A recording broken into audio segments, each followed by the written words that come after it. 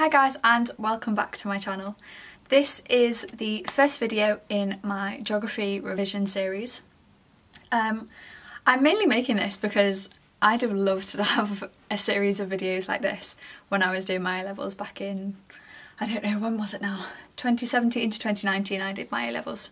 Um, yeah, so I just thought I'd make it for the people that really want it and even if you're not doing geography A-level right now, it might just be interesting to learn something about the world. So this is the first video in the Tectonic Processes and Hazards series. This is a core module, I think, on the Edexcel specification. Um, but this is obviously can be used for whatever specification. I just did the Edexcel one, so this is where my speciality lies. Um, yeah, so I thought I'd give you a little bit of background on my geographical knowledge. So at A-level, as I've said, I studied Edexcel A-level geography um, and I sat my A-levels in 2019. I came out with an A, uh, which I was really happy with, and this revision series is going to be based mainly off the notes that I made during my A-levels um, and any that I've added on since. So at the moment I'm doing a joint degree between Geography and Education Studies at Liverpool Hope. Um, sorry, if you see me looking down here, my laptop's here with my notes on it. Um, yeah, so this is going to be a combination of my revision from A-level and things I've added on since.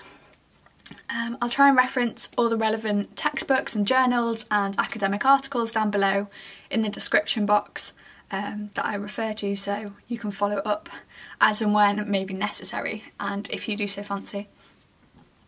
Um, as I've said before, the format of this video will, well, this series of videos will follow the Edexcel specification.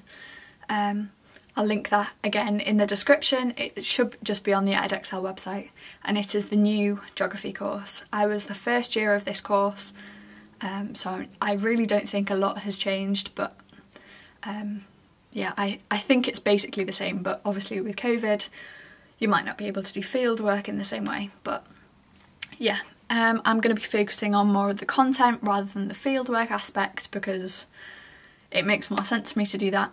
So this is the start of the tectonic hazards and processes section. I'll break it down into three parts in line with the specification or as the Edexcel specification calls them, inquiry questions.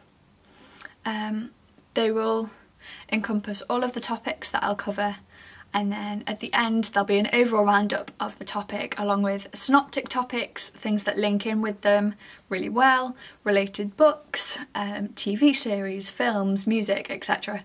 Um, so that you can engage with the subject without revising.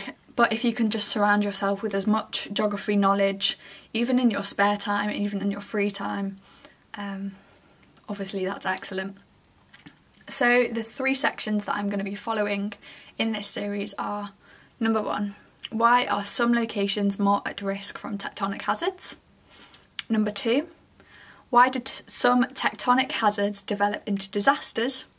Number three, how successful is the management of tectonic hazards and disasters?